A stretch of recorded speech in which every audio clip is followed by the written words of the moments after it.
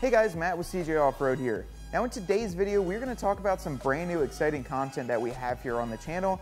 And we know that you guys are liking a lot of the new content that we're producing, specifically the Ford Bronco content. This is mostly a Jeep Wrangler and Jeep Gladiator channel. However, we have a ton of interest in the Ford Bronco by means of that first video, which is almost at 900,000 views. We're extremely excited to see that the Ford Bronco is coming out, and it's really giving Jeep a lot of competition to really up their game, and I think a ton of people are excited for that brand new Ford Bronco. In today's video, we're going to talk about some of the brand new color options in the Ford Bronco and how they compare to some of the Jeep Wrangler, as well as my top three picks on our favorite colors here at CJ Off-Road. This is some really exciting content, and we actually do have brand new renderings that we created in-house to really help you guys visualize how these colors look. I'm gonna go over some of those colors today, talk about my favorites, and then maybe talk a little bit about how they compare to some Jeep colors, so you're not gonna wanna miss this one. So in the brand new Ford Bronco, you've got a bunch of different color options.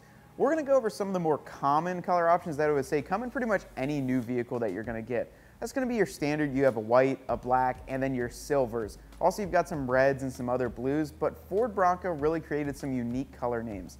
Now for the black, you've got a shadow black on the Ford Bronco, which is gonna be just a nice, crisp, pure black, which I've actually seen a couple on the Bronco Nation YouTube page, and they look really clean. Is gonna compare to the standard black that you have in the Jeep Wrangler, and that's just a common car color, so black does look really clean, and you can add on any color accent to really match that to whatever scheme you're going for.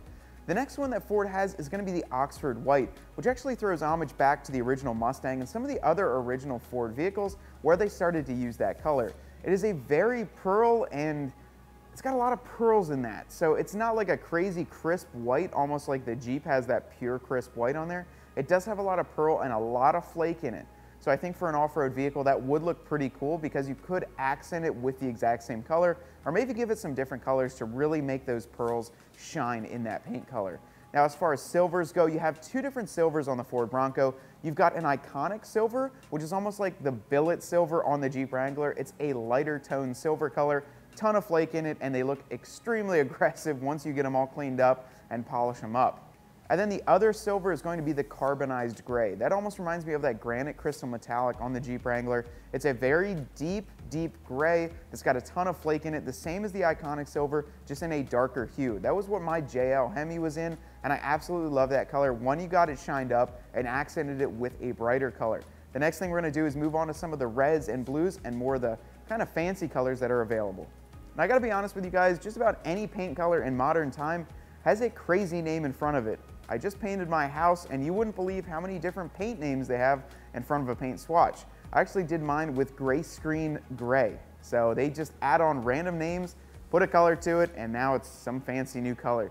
It's the same with Ford, it's the same with Jeep, it happens everywhere, but it's just funny to me to read all these little descriptors in front of it. I think Jeep does it in a pretty cool way that actually references almost like food or items like Stingray, you know, like a Stingray or something like that. But overall, it's pretty cool to see what they do.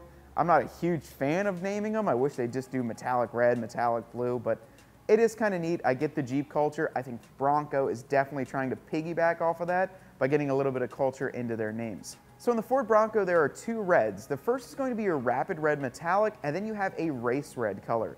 Now the Rapid Red is going to be a deeper metallic and almost reminds me of the new Snazzberry color, which we actually did a video on here at CJ Off-Road. It is a very deep red metallic. And we've seen that a lot in Ford vehicles. We actually had one in our 2016 F-150. We did one when we built that up and compared it to a Raptor, and I've seen it on a lot of Ford vehicles. It's a great looking color, but if I'm being honest, it is on a lot of vehicles. There's a lot of, I see Ford Fusions and Ford Tauruses rolling around that are in that exact same color. However, I think that the race red is going to be a very vibrant and bright color that is fitting for the Ford Bronco. When I think of a Bronco, I think of that classic two-door with the roof off, driving around on the beach or cruising around in town, and I definitely see a red Bronco. We've got a old 60s Bronco here at CJ's, and it is a very vibrant race red. It's a very bright red, and it just looks super cool. Same with the race red, Jeep's got Firecracker red, and there you can start to see the names in front of the thing. Firecracker red, race red, just gotta make them sound cool so that way you can actually create a little bit of a fan group on pages and it doesn't sound just a boring red color. So I do start to get it. The next colors we're gonna go over is the blues, so we'll start that. So the next color, like I said, is going to be blue. Now blue is obviously a staple of any car. However, some modern vehicles don't really include blues as much anymore. So we've got two blues on here. We've got Velocity Blue and we've got Antimatter Blue. The Velocity Blue reminds me of the Hydro Blue in the Jeep Wrangler and now the Jeep Gladiator. And it's a very vibrant and almost baby blue color that has a ton of metallic flake in it. And when those get cleaned up, I absolutely love it. It reminds me of the old school Islander, that bright blue mixed with a yellow color, just making it a really neat and kind of out there color. I love it and I think it's perfect for like a beach going Bronco or someone that's gonna have that top off all the time. Now the next one is antimatter blue, and I'll give some props to the first person in the comments below that can tell me what antimatter is, because I didn't research it yet, but I think it's what's in black holes, or maybe it's some sort of space realm thing, but drop a comment below. I'll give you some shout out if you can get antimatter right without me having to Google it first. So I'll definitely be looking for that. But that one is a very, very deep blue. It reminds me of the ocean blue in the Jeep Wrangler. It's even deeper than that actually. And it's just a dark navy blue, which I think that with almost a white top on it would look really, really sick and would remind me of the original Bronco. So if you're looking to do a very original kind of throwback resto mod, do that color, white top, and then some old school lettering on it, and you'll be pretty much set to go. So those two are obviously really cool. The next ones we're gonna go over are some of their more unique colors, which you actually have to get some of the different trim models to actually purchase. We're not gonna go over all those trim models. If you're interested in seeing which ones are available in each, you actually just go on Ford.com and build your own Bronco. You can check them all out like that. But now we're gonna go over some of the cooler colors and some of, honestly, my favorite ones. So the last three colors that I'm gonna go over today are actually my top three picks for the colors that I would choose if I was buying a brand new Ford Bronco. Now they are more out there colors, they're more unique, and they're very fitting of the Ford Bronco. Just as Jeep creates colors that are unique to their own vehicle, Ford is doing the exact same thing. Now the first one is going to be your Area 51 color, which is almost a blue, gray, mixed with a hint of green in there. It is a very unique color with a very unique name. Area 51 is, you know, frequented with UFO sightings in this mysterious military base somewhere out in Nevada.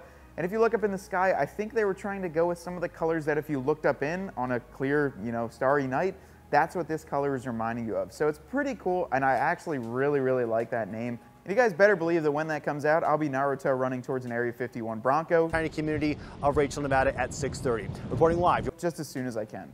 The next color I want to go over is the Cactus Gray, and I think this is my number one color. If I was going to order a brand new Bronco, this is the one that I'd order. I remember watching the release and watching this one drive all over the place, and there was no really names out yet for the colors, but I knew if I was going to get one, that would be the color I would pick which is kind of weird because I have a Firecracker Red Rubicon, but I really, really like the Cactus Gray. It reminds me a lot of the Sting Gray, however, it just has a little bit extra in it. It's a little bit more of a unique color, and I think there's a little bit of green mixed into that gray, which just gives it a very, very cool color. I think it's gonna be great out in the woods. And when I saw it with a little bit of mud on it, a little bit of sand, it really blended in and looks, it just looks mean. So that's probably my favorite color there is gonna be the Cactus Gray.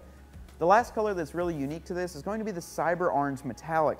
And if any of you guys have seen any of the release material on the Ford Bronco, and you've seen the two-door that looks a little bit lifted, that is the Cyber Orange Metallic.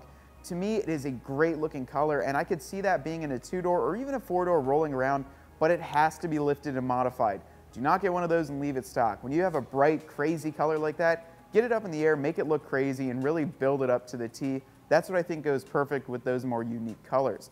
I gotta say, that reminds me of a mixture between the Nacho orange color that Jeep first released in 2018 JLs, which I think is going to be re-released, and a pumpkin orange color mixed with a Hellayella. There's just a lot of colors going on in there, but it's super bright. It's got a ton of flake in it. And that's one thing I am noticing with the Ford Bronco colors. Unless it's a more flat color like the Cactus Gray, it's gonna have a lot of flake in it, which makes it really nice if you do get a scratch, you'll be able to sand it out buff it out and make it look pretty cleaned up. And when you do polish them up, they'll look they'll look sharp when you go to a Jeep show or a, I guess now a Bronco show as they'll call it. Overall guys, I am really happy with all the colors that Ford has come out with for that brand new Bronco.